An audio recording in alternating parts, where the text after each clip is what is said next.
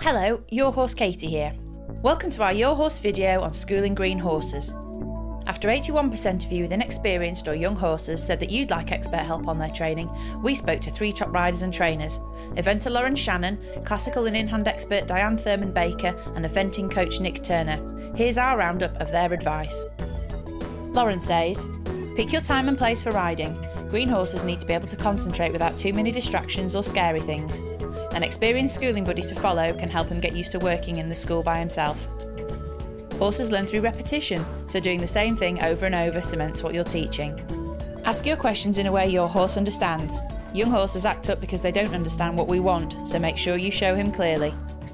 Diane says, Don't make a big deal from little things. Forcing your youngster towards something spooky will only create resistance, so work where he's comfortable, then gradually take him nearer as he grows in confidence. Take things at his pace. A confident horse is one who understands his job and what he's being asked to do, so it's really important your horse understands each stage of his training before you move on. If you try something new and he struggles, go back a few steps to make sure he understands everything you've done before. Remember, your confidence is key. If you're not feeling happy about something, don't do it. Go back a step until you feel comfortable too. Everything gets so much harder if you lose your confidence, so ask for help sooner rather than later if you're struggling with your youngster. Nick says, have a clear, simple plan whenever you ride.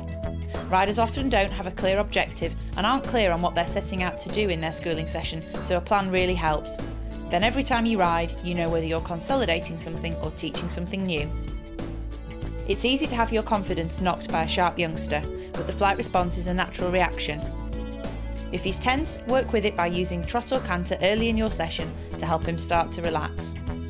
Ride what you feel and be creative, this is so important, especially with green horses, rather than thinking you have to ride in a textbook fashion.